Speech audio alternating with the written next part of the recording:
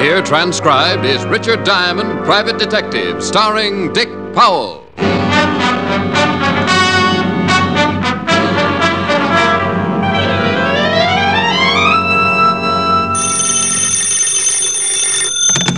Diamond Detective Agency, the ham and mayhem. It's mayhem. Not if it ruins a gag. Hi, Helen. Hi. What are you doing? Oh, trying to spot a client. I've done everything to get somebody up here. Set traps, hung out of the window by my toes. Nothing. Oh, is it that bad, Rick? Has been for a week.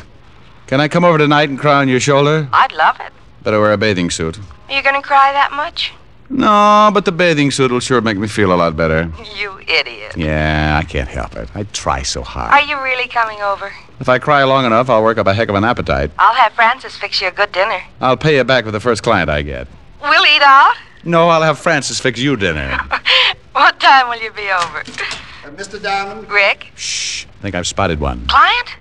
I'm afraid to ask. It might scare him away. are you Richard Diamond, the private detective? Are you interested in hiring him? I certainly am. Rick? We just made a score, baby. I'll see you tonight. Oh, wonderful. Bye.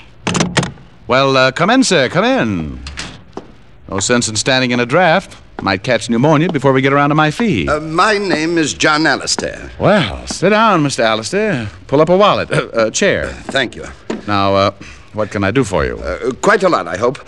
Two days ago, I made arrangements for my own assassination. huh? It's really very simple. Well, so am I sometimes. Maybe you better be a little bit more specific. Well, I was bankrupt, in danger of going to prison. Uh, I have a family, a wife, and two children. And an insurance policy. That's right. If I was to be killed, my family would be well taken care of. You said you were in danger of going to prison. Why? Well, I'll be perfectly honest. I embezzled money from my firm. Oh, embezzlement. Well, you can get a lot of years for that. Yes, so I decided to do away with myself, leaving instructions for my wife to replace the stolen funds. She could live quite comfortably on the rest. I knew suicide would revoke the insurance policy, so I went to the only underworld character I knew, a, a man named Gimpy. A long time ago, he'd been my bootlegger. Oh, yeah, I know him. Nearly poisoned me once. I told Gimpy I wanted to hire a man to kill me, a professional assassin. Gimpy said it could be done, and I gave him $200. I told Gimpy to take care of the arrangements and not to tell me anything about the man who was going to kill me. I didn't want to know a thing, how it would be done or when. Well, what do you want me for? Well, something has happened.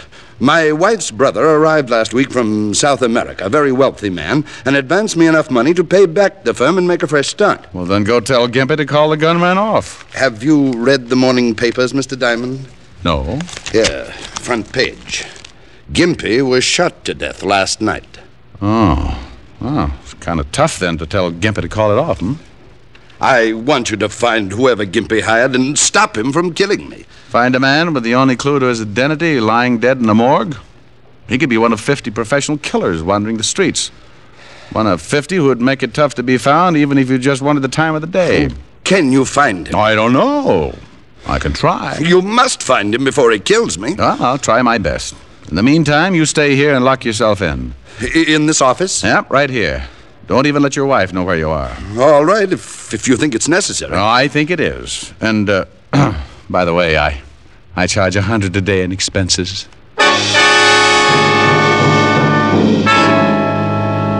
I guess his brother-in-law had given him enough money for a high-priced private detective because he handed me a hundred dollars and agreed to lock my door and not answer it for anyone but me.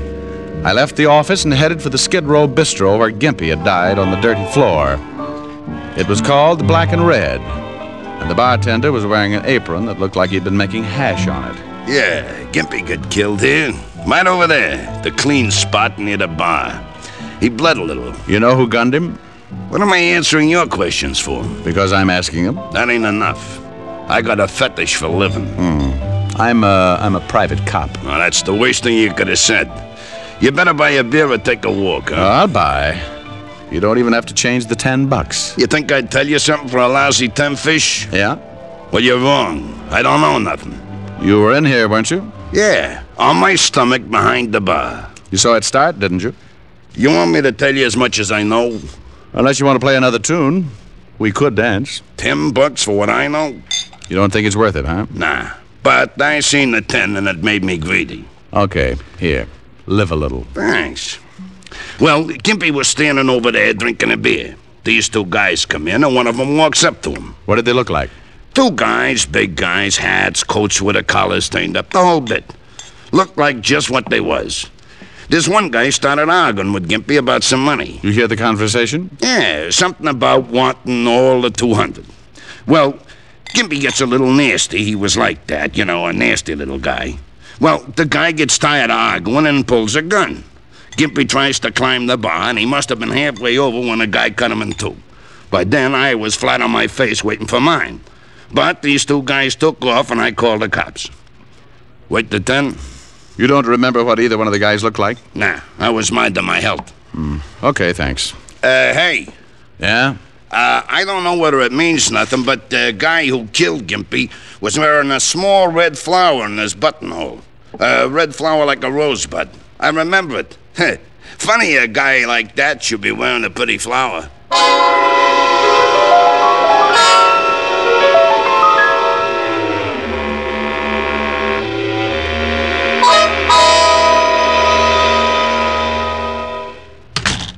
Oh, what do you want? Why, Sergeant Otis, you've been taking your ugly pills again. Can't you ever do anything without the department's help? I thought you were supposed to be a big, smart private detective. Well, we all make mistakes. I thought you were supposed to be a gorilla. Oh, you did, huh? Yeah, but gorillas get bigger. Oh. Hello, Walt. Hello, Rick. What can I do for you? I got a little problem. Your department handled that killing over in the Black and Red Saloon? Skid Row? Yeah. Yeah, a small time guy named Gimpy got himself blown up. Mm-hmm. Any line on the killer? No, we questioned the bartender who runs the place. He was lying on his face. Couldn't give much of a description. We're checking up on Gimpy's friends and associates. The killer wore a small red flower in his buttonhole. Maybe a rose. How do you know? Bartender told me. Thought maybe you knew about it. Well, he didn't tell me. What are you interested in Gimpy for? Uh, he contacted the killer. I've got to find the killer, and I don't know who he is. You think maybe this guy with the flower is your boy? Well, he might be. Bartender said he was arguing with Gimpy about $200. Well, no, he didn't tell me that either. Just said they were arguing. You should have slipped him 10 bucks. What do you have to find him for? Client. You got a client who wants you to find a killer? Yeah, and that's all I'm going to tell you. Now, give me what you got on Gimpy and his friends. I don't know why I should. Oh, stop pouting, fatty.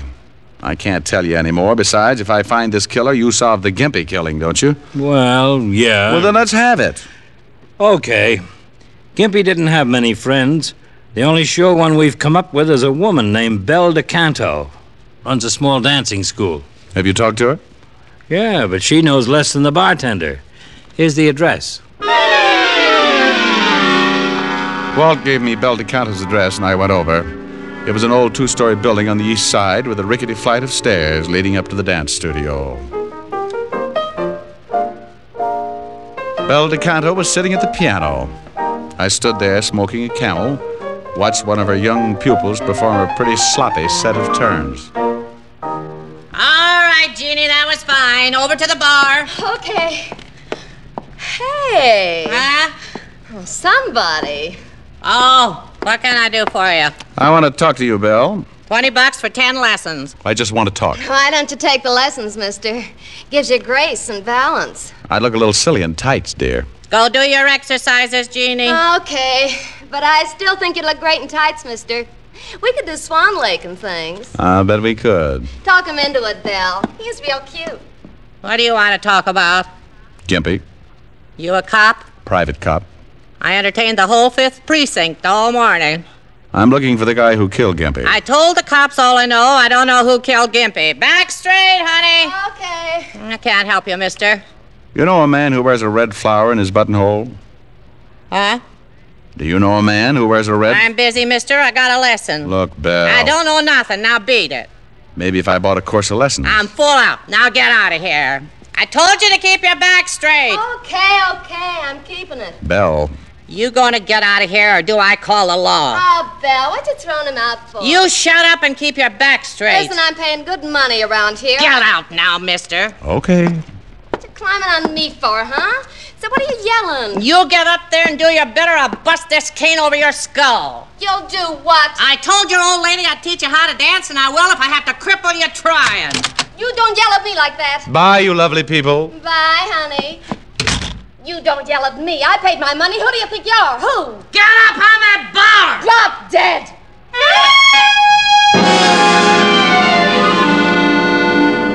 It was pretty obvious my mention of the man with the red flower had set off Belle DeCanto's charming temper.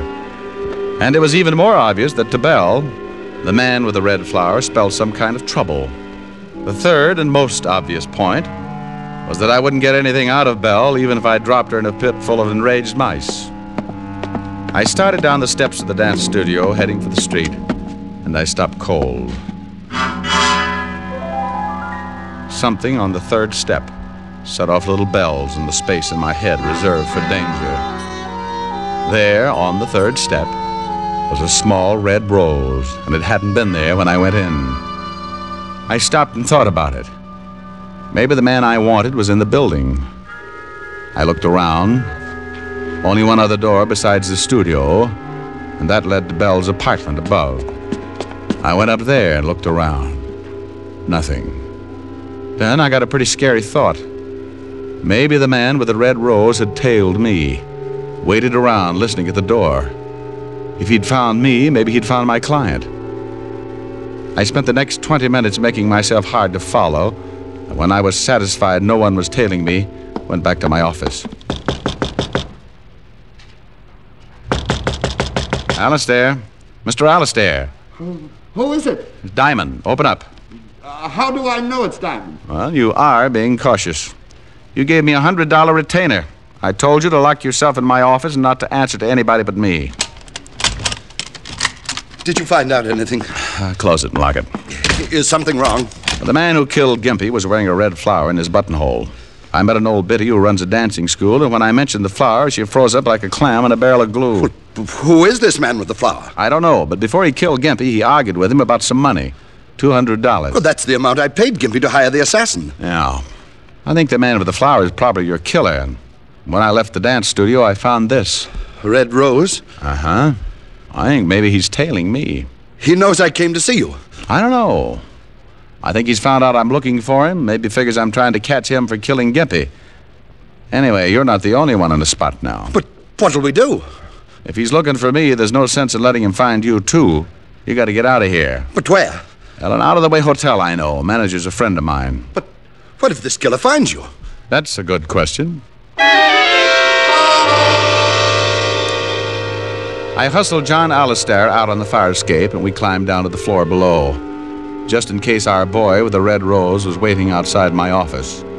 We climbed into the seventh floor hall, made our way to the service elevator, and down to the alley. A half an hour later, I'd deposited Alistair in room number 11 of the Bunker Hill Hotel, in charge of the manager, a one time safecracker named Herman Clipp. I'd done a lot of favors for Herman, and he assured me Alistair would be safe, and that no one would be allowed to see him unless his name was Diamond, and he had the bluest eyes in the private detective business. It was six o'clock by the time I left the hotel, and I kept to the side streets in case the man with the red rose might be close. It was certainly one way of finding him, letting him find me. But I wanted to be ready for it, and I didn't want to be around my client when it happened. I went back to my apartment on 51st Street.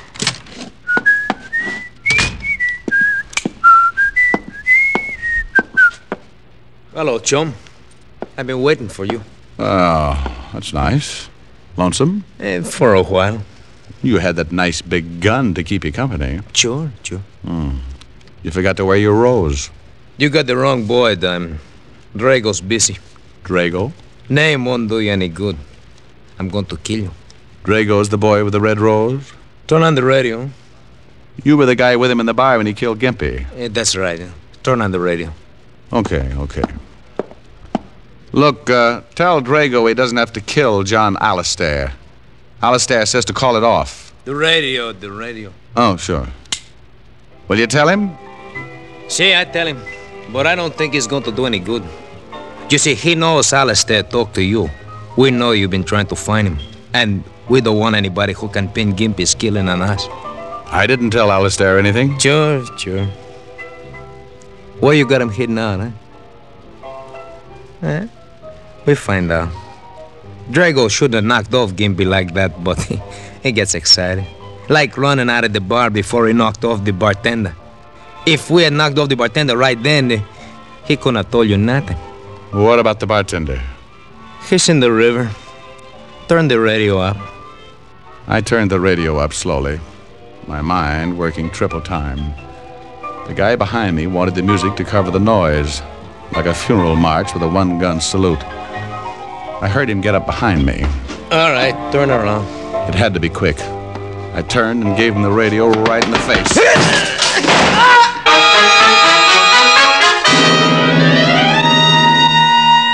I had twisted his gun right into his stomach. He looked up at me like a kid who was going to bust out crying because somebody had dumped over his blocks. Then he slid down on his face and died without a sound. I put in a fast call to Walt, told him to check his files for a killer named Drago. I told him what had happened and about the bartender who was probably floating on the river. Then I took off for Belle DeCanto's dance studio. The man I'd just killed had said Drago wasn't going to leave anyone around who might pen the Gimpy killing on him. And Drago had left his red rose on the steps outside of Belle's studio. When I got there, the big dance hall was dark, so I went up another flight to Belle's apartment.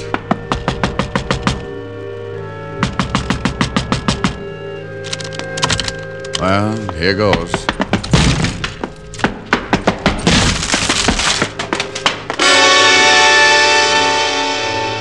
Belle was there all right, and Drago had been there. He hadn't left a rose, but he left a bullet instead.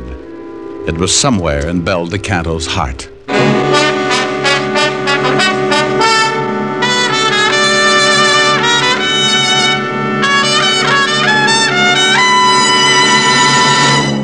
Before we continue with Richard Diamond, here is an important question. How mild can a cigarette be? One puff won't tell you. One sniff won't tell you. It takes day in, day out smoking to find out how well a cigarette agrees with your throat.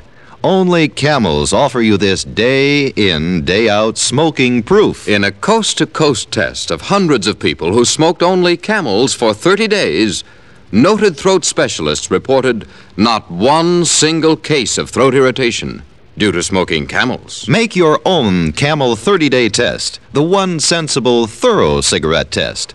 Smoke only camels for 30 days and let your taste tell you how rich and flavorful camels are, puff after puff, pack after pack. Let your throat tell you how mild camels are, how well camels get along with your throat as a steady smoke. You'll see why people say, once a camel smoker, always a camel smoker. How mild, how mild, how mild, how mild, how mild can a cigarette be? Make the camel 30 day test and you'll see. Smoke camels and see. And now back to Richard Diamond, Private Detective, starring Dick Powell.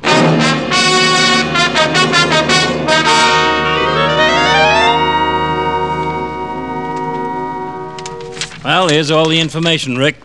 The only man we got on file named Drago is a well known hood named Tommy Drago. Hmm. Seven arrests, two convictions, assault, and armed robbery. Can you find him all?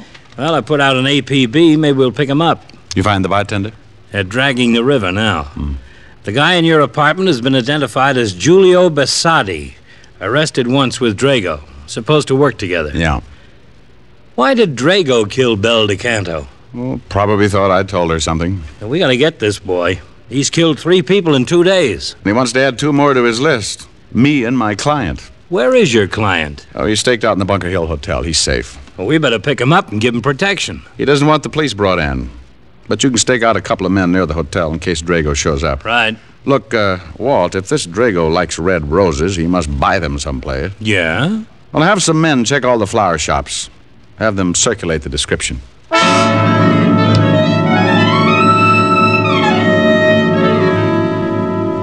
For the rest of the day and into the evening, the entire precinct turned out to look for Drago. Each man had a photograph, and they toured every flower store in the city, showing the photograph and asking questions.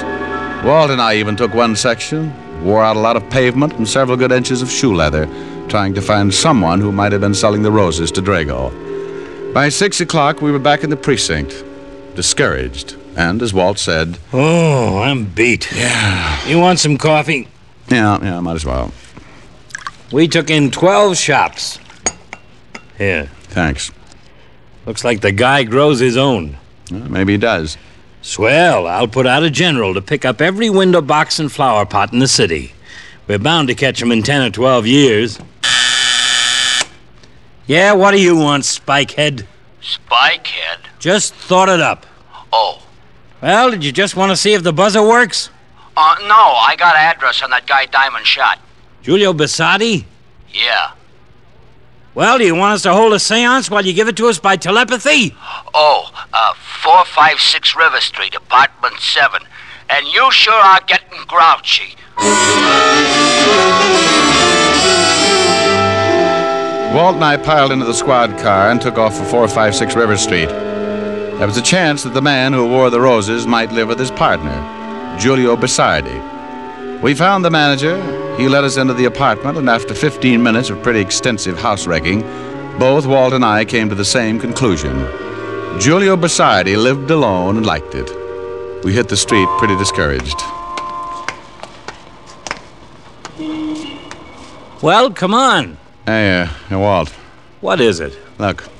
That old lady down the street. What about her? She's selling flowers. Oh, well, let's go. Fresh flowers, 20 cents a bunch. Flowers, gentlemen? Uh, do you have some red roses? Uh, yes. Single red roses that I could wear in my lapel? Yes, 25 cents. Have you ever seen this man? What man? Here. Yes, Mr. Drago. I sell him a red rose every evening, fresh. You know where we can find him? Well, what do you want him for? Police. Has Mr. Drago done something? He's wanted for murder. Oh, no, how terrible. He seemed like such a nice man, so generous, he dressed so nicely. He's killed three people. Three people. Do you know where he lives? Three people. Yes, he lives in the next block. I don't know the number. I'll have to show you. Here, I'll take all the flowers you've got. The old flower woman showed us the building, and again we dragged another manager out to let us into Drago's apartment. This time we went in low, ready to shoot if Drago happened to be home. He wasn't. And once again we tore another place apart. Find anything? No, not yet. Get a load of this closet. Drago really dresses. Hey, Walt. Yeah? You find something? Ah, look at this telephone pad. What about it? The writing. Read it. Bunker Hill. Bunker Hill Hotel. That's where my client is. Drago's found him.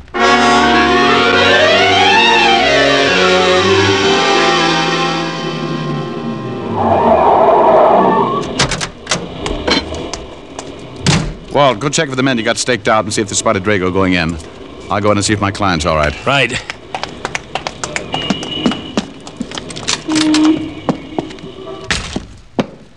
Herman. Herman. Oh. Rick? Over here, Walt. Herman is out cold. Herman? Yeah, the manager. Oh, he looks pretty bad. Yeah, he's really out. Drago? Your men see anybody? No, but he could have slipped in. Now, let's get up to my client. Well, come on. I'm looking for the key. What room? Eleven. Now, let's go on. I had my client locked in. Come on. Second floor.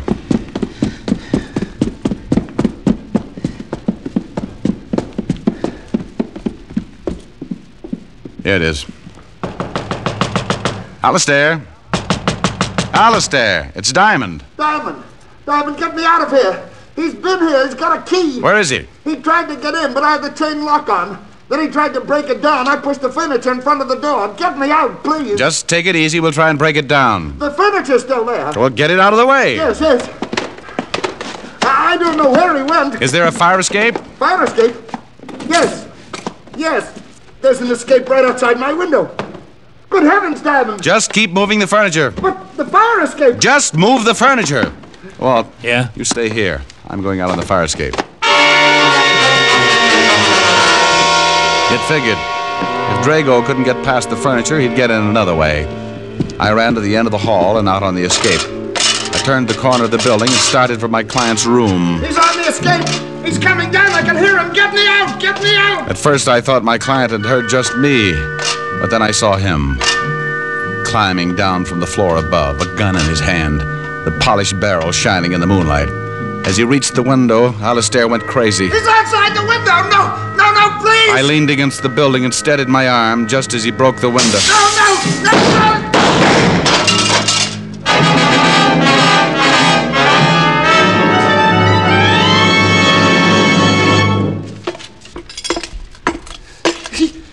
Killed him. You killed him. You killed him. Yeah. Funny. What, Miss Diamond? Shot him right through his red rose.